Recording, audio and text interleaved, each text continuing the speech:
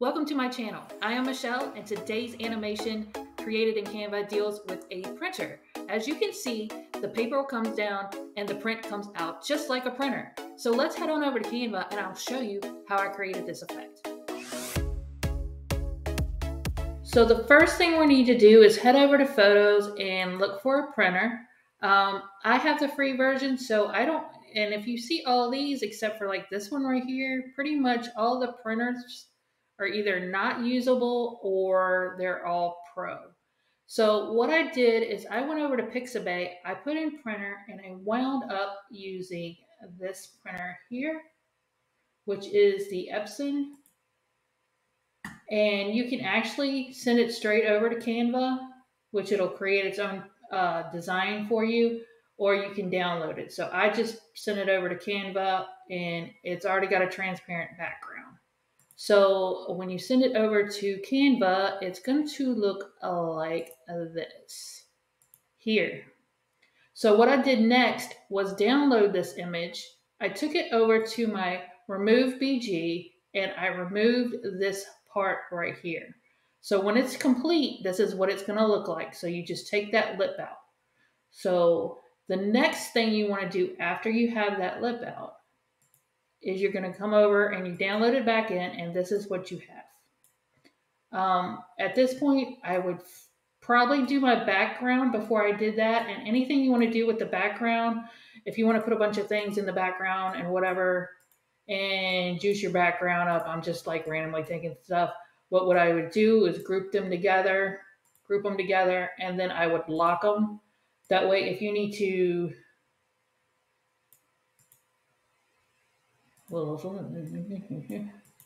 Let's unlock these. Unlock these real quick. Uh, move them to the back, and then I would lock them.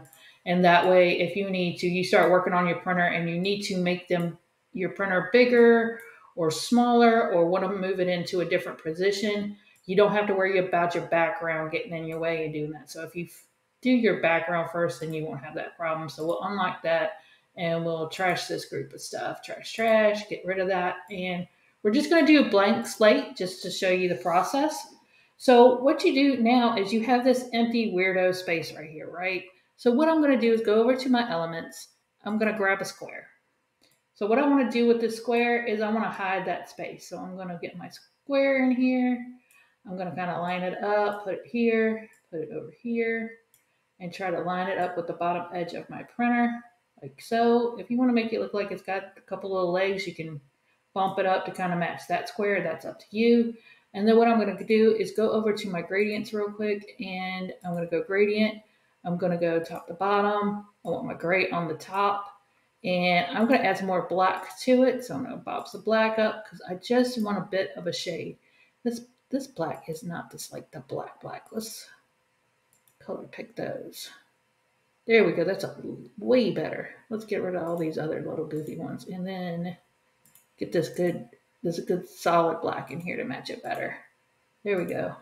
And there you go. And it looks like a little bit of a lip and a little shine coming out of there.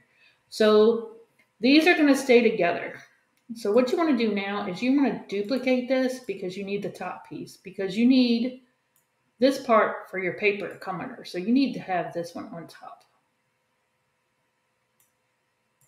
And now we have our little printer thing and we're going to move it over here to the side for the second and we're going to go work on our papers. So there's two ways you can do this. You can grab a frame for your picture or you can just create your own little designs here, grab some text. Let's turn that white. Put that down like so. Make it look like you get some little thing going on. Let's like ungroup these and just like make that look like like little little resume or something going on. We're just doing something chintzy. And then you can have something like that come out, whatever you want to do. If you want to do a picture, you can use a frame, but that's what you want to do for that part. Um, the other thing you want to do is you want to do your top paper. So let's duplicate this and to make your top paper, we're going to go in here and we're going to grab, I'll just grab this for ease. And then we're going to go here. I am going to change the orientation.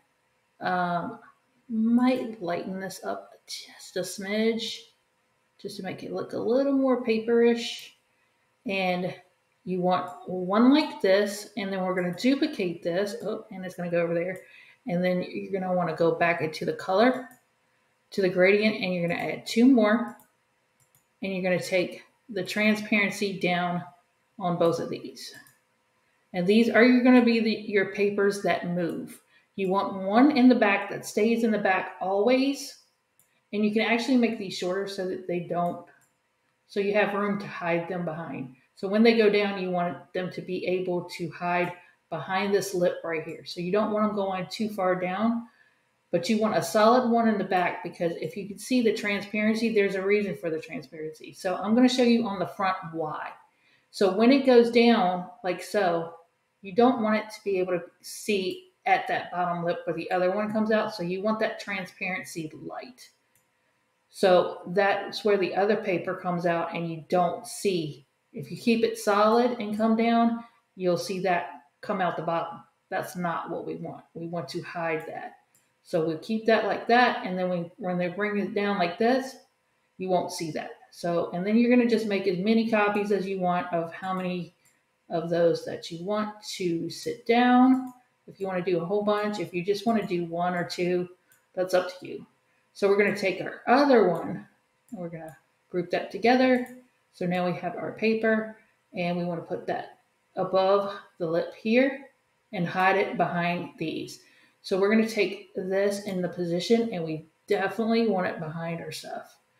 We want it behind here. We want to make sure that that's in front. So we want that behind here and we can test drive it and make sure when it comes out, it's coming out the bottom like we want it. So yes, and you want to make sure it's hidden behind these. So these are going to stay on the top and you're going to put this piece over top. So as you can see here, when you hold on, don't move, don't move. As you can see, when I grab this first piece of paper and bring it down like so, I can bring it down and it's hidden. And that's where your transparency comes in. You can't see that and it doesn't come out the bottom here. So that's, why are you moving on me? Stop doing that. so let's grab that one and bring that one back up. So we're going to put that one back at the top. And we're going to just do one because you're going to do the same thing for, well, we'll do two. So I will take this, I will duplicate it, and let's change the color on that to uh, blue to make that one look a little bit different than the other one. And we're going to hide that one in the back. That way I can show you how to do more than one. So now, like you said, I, I have it in a, in a weird place. I want to center it up. I can make it small. I can turn it sideways. That's why you want to kind of lock your background. So next, what we do once we have all that set up, you know, everything with this, the setup takes forever. Once you get one set up, good to go. You can do it a million times. It's not going to take you no time to do it after that. So the first thing I want to do is I want to go and grab my first page here. I want to hit the animate button. I am going to go create an animation. I'm going to hold the shift key down and I am going to bring this down like so. And then it's going to go in behind that and go all the way down. Then I'm going to adjust my speed. I'm always put it steady because I am not steady. And I'm going to adjust my speed to how slow I want my paper to come down to make it kind of look natural. Right? I should have bigger pieces of paper here, but, and then when I'm good, what I'm going to do is I'm going to close that off. I should have got the papers to match here, but sizing, well, I'll show you that in a second. So I just want to show you the technique. So now what I want to do is I want to go over into position and I want to grab one of my things I want print. So I'm going to do the same thing. I'm going to go to animate. I'm going to go create animation. I'm going to go hit my shift key and I'm going to bring that down like so and have that come out. These should be, these should be way bigger. Like so. I'm going to put it on steady. I'm going to get the the uh, speed that I want. And if you watch them right now, they come down together. We don't want that. So if you want to, just for ease, you can animate the second one. So let's go ahead and go into position. I'm going to grab the next piece of paper go to animate, shift, do the same thing, hold that down like so. Go into here, slow my speed down, push steady, push done, go into position, grab this one, go into animate, create animation, shift key. Down, come out. Like so, steady, get to speed wherever you want it, done. Okay. Now, if you watch it, everything's going at one time. We don't want that. So here's the next part of this. So what we're going to do is we're going to grab one thing, and it doesn't matter what thing, and I'm going to go into show timing. Now I want to do all my timing. Let's let's do it the easy way. Let's go in a position. We know we did this one first, so this is the first one we want to go. So we want to show our printer. We want this to go. So you're going to have to take your timeline and expand it out. Now you can because you need to do this a whole bunch of to do this. So we're going to expand our first piece of paper and make it go down. So I'm going to watch it till it goes all the way down to where I want it. And when it hits, I'm going to hit that pause button. Now the first one that came out was our gray one. So what I want to do now is click the gray one and take it to that piece right there where I stopped. And I usually leave a hair of a gap because you know when you print it stops and you hear it all grinding and all. And then I'm going to stop it there. Then I'm going to hit my next piece of paper. Hold on, let me see where I was at. I lost my mojo there for a minute. So we want that one to come out. Let me see where I'm at. I lost my mojo there for a second. All right, we got one coming down. We got the blue one coming down. I don't want the blue one coming down yet. So I'm going to grab the blue one and have that coming down. Let's watch browns coming out. We need that down here. So let's go grab our paper, our second paper, and we want that coming down after that one comes out. And then I want my paper to start a hair after that. So start there. I am going to watch. And when my paper gets down to the bottom, I'm to stop. I'm to get grab my per, my blue one and then I'm to have that paper star here where I want it to and then I am going to pull it out. And that's just a technique to do that. It's just the easiest way to do it.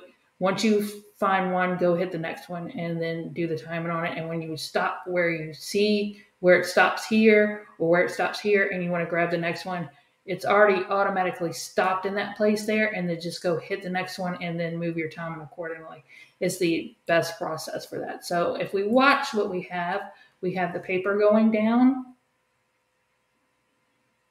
and then we have the paper coming out. And then once that comes out, you look up top and the next one's going to start coming down. And then once that gets in there, the next one will come out. Oh, you know what I did? I did them in the wrong order. So you always want to do the order. So you'd want to do the blue one first. You want to, for this, you want to go bottoms up. So when you do them, you go bottoms up. So if you have five pictures here, go bottom, then the next one. That's way, that way they'll fall on top of each other. So you want to go, for paper, you want to go top. You want to go hit the first one, then the second one, then the third one for the photos or for the uh, whatever you're going to use for that, you want to go from the bottom. So your blue one would be your first one, your gray one would be your second one. If this is another photo one, that would be your third, and you go from the top. That way they'll layer on top of each other. See, I did that one.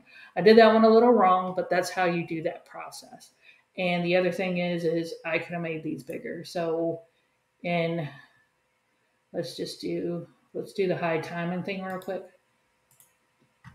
And when I'm when I'm trying to design stuff and I want to change something in it or I'm looking around and want to test drive something different, I just what I do is I duplicate because I don't want to lose my original thing that I was doing. So the other thing is you could just take these and make them bigger. You want to kind of size them up to that hole. And then you would take like these and make them the same size.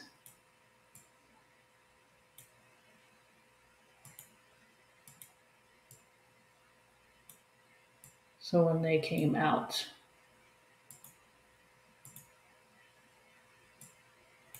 where's my bottom lip on that? Oh, because they're un- ungroup it. Will it give me my bottom? There it goes. So and then you kind of make it like that. Come on. So then you, your paper, you want it to fit in that hole like a piece of paper, and that's just you I should have done that first. That should have been my first thing is make them to fit that hole right there. And then you can see that kind of fits and looks better. And I can grab this. I can maybe grab this print right here, maybe not. And bring that over. But that's that's that part. Sorry guys. I do get kind of messed up every once in a while. Forgive me. Everything's a learning curve and hey, I'm not gonna hide mistakes from you. But that's how you do that. And if you have any questions, you know, feel free to reach out to me. You know how I am. I love you guys. And, you know, I don't mind helping you guys out. You know, hit me up on Facebook. Um, my link is on my uh, page. So if you want to head on over to my my channel page, you, my Facebook link is there, and you can hit me up in my DMs and uh, ask me questions. And if you got problems, we can work through it together. And this ends this very long and draggy tutorial. And I love you guys, and I'll see you on the next one. Bye, y'all.